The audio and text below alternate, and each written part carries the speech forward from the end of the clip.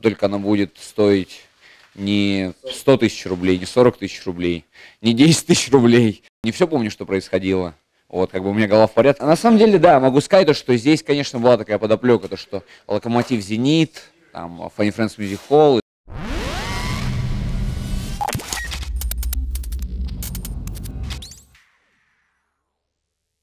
Справа от меня сидит Кирилл Крюков. Только что с Алексеем Лакоста Мартыновым они закатили настоящую бойню. И я думаю, что на этом турнире это был как минимум лучший бой.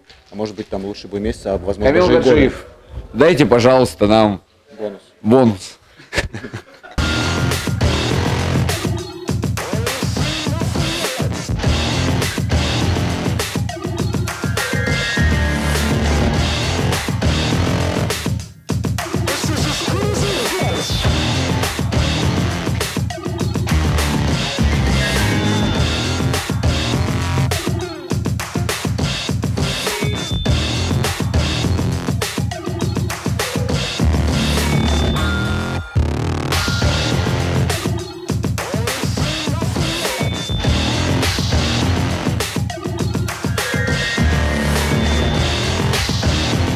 Ребята, которые сидят рядом с нами, уже придумали кучу э, смешных начал для этого интервью, там про то, что видел Кирилл себя в зеркало.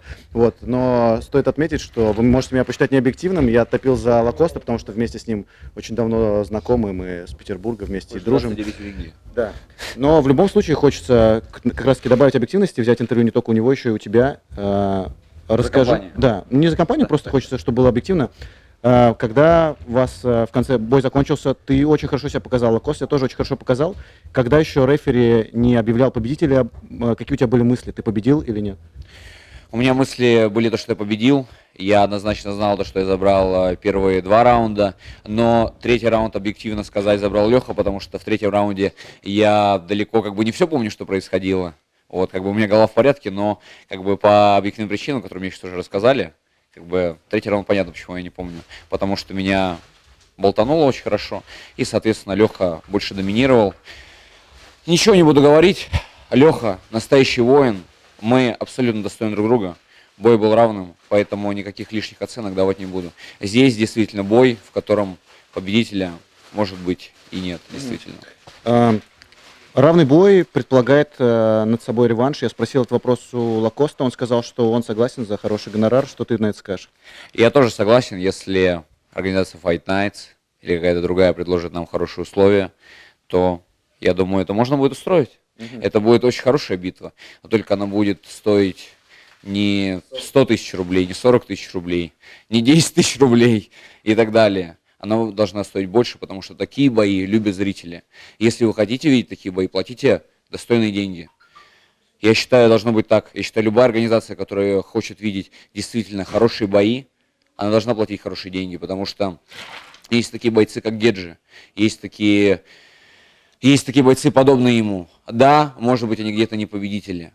Да, может быть, э, они не дерутся за чемпионские пояса, но они устраивают настоящее шоу. Люди любят их, люди любят это смотреть. Есть очень много хороших бойцов, которые действительно, они настоящие чемпионы, они техничные, но они показывают незрелищные бои. Люди любят что? Кровь и зрелище.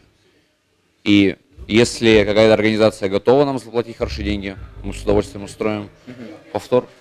Э, Хочется пару слов услышать о твоей поддержке. Поддержка была действительно крутая. Как я понимаю, у вас противостояние не только было двух бойцов, но еще и двух околофутбольщиков. Лакост за банду шведа дрался, дрался за Hall в свое время.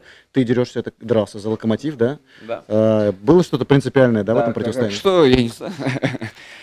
Нет, на, са- на са- на самом деле, да, могу сказать, то, что здесь, конечно, была такая подоплека, то, что Локомотив Зенит, там, Funny Friends Music Hall и так далее.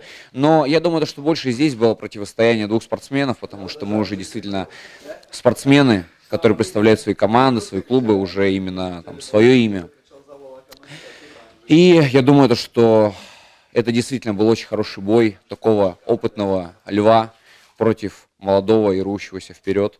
И действительно битва вышла на славу, потому что, как я уже сказал в клетке, то, что я за Лехой слежу с э, начала занятий спортом с 2011 года. Я смотрел турниры М1, как он выходил, действительно дрался до самого конца.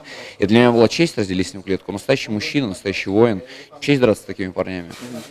И очень важный вопрос, который ждут многие наши подписчики, многие наши зрители. Что случилось с твоей рукой и про эту ситуацию вообще? Опиши, мы подошли к рефери, спросили, типа, ну, что случилось? Он сказал, что э, ему показалось, что, типа, у тебя что-то с рукой, он позвал врача, и врач, типа, сказал, он может продолжать. Как это из твоих глаз выглядело? Ну, я не знаю, какая-то суета с рукой случилась, что-то произошло с ней. Она вылетела или что? Ну, не совсем понятно, я толком не знаю, как бы, ну, походу, может быть, может быть, но я как бы потом уже два раунда ей не рисковал работать, потому что думал, что может произойти что-то подобное, потому что для меня это было как снег на голову, потому что раз дерусь, дерусь, раз здесь что с рукой происходит, и я решил не рисковать, все же довести бой на одной руке, и я, в принципе, сделал это.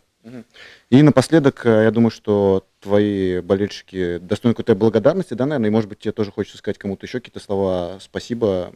Э, я предоставляю тебе эту возможность. Да, я хочу сказать всем людям, которые меня поддерживают, которые были сегодня здесь, которые были у экранов телевизоров, всем людям, которые сопровождают меня в карьере, всей моей команде, моему тренеру Александру Сергеевичу Анорову и всем-всем-всем людям, которые стоят за мной, которые помогают мне. Я стал э, около полугода назад профессионалом, стал полностью даваться тренировкам только полгода назад. Тренировки – это моя работа, бои – это моя работа в том числе. И, соответственно, я иду только вперед благодаря всем этим людям.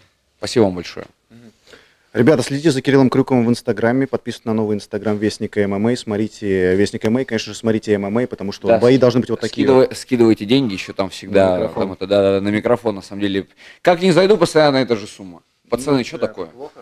Плохо. Да, ребят. Спасибо. Спасибо большое.